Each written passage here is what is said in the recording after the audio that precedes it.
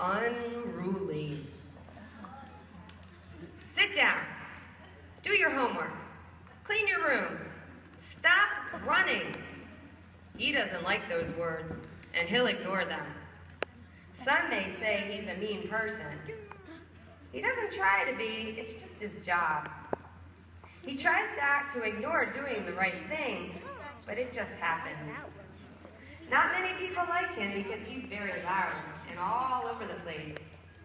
He runs from room to room and never stops. No wonder why his parents get constant headaches. Someone better control that kid.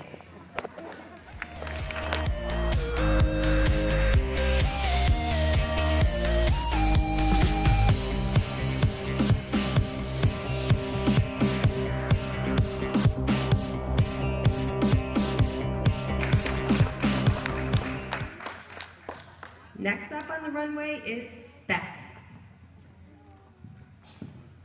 She's not very big.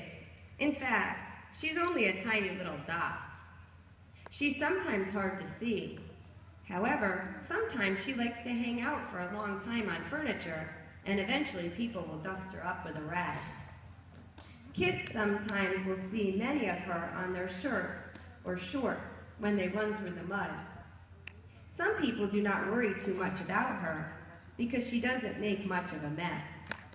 Just wipe her up if you want her to go away.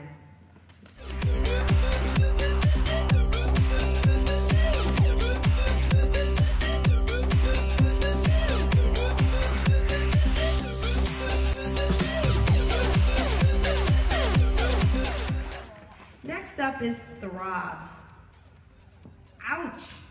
Have you ever stubbed your toe? Or gone to the dentist and got a tooth removed? That is where he comes to visit you. He will stay with you for a while. He's really painful, like a scrape on your knee or elbow. He also gives pain to you when you're done with your dentist appointment. Wait, there's more.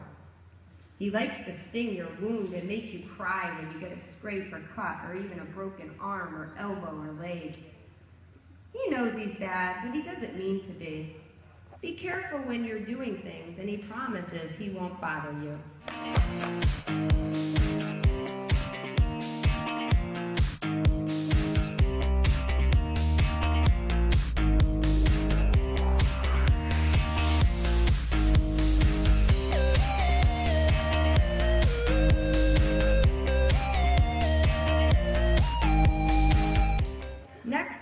Is wholesome.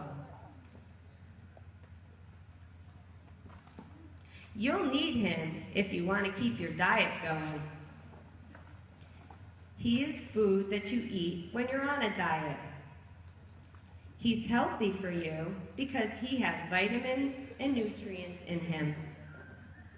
He helps you lose weight faster and makes you feel good about your appetite. Most moms and dads like him because he makes their kids strong. Some athletes like him because he helps them to stay healthy. When you see him, say hi. He's a good person to be around.